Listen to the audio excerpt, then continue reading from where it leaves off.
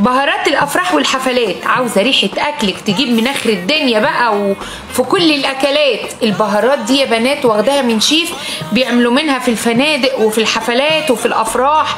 الشيفات بيستعملوها. تروح عند العطار. وأنا عن نفسي بستعملها. تروح عند العطار. وهتقولي له اعمل لي الخلطة دي. إيه ورق لوري. اكتب ورايا.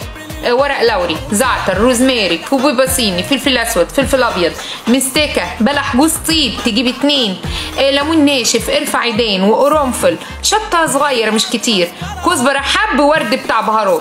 بصي بقى يا ست الكل هتاخديها وتحمصيها تحميصة خفيفة وطي عليها البوتاجاز وبعد كده اطحنيها. بعد ما تطحنيها حطي بقى منها على الحواوشي بطاطس باللحمة المفرومة بطاطس باللحمة العادية على الفراخ كمان لما تحمر الفراخ وتديها رشة من البهارات دي ما أقولكيش. كل الأكل بستعملها البهارات دي ما بستغناش عنها. وألف هم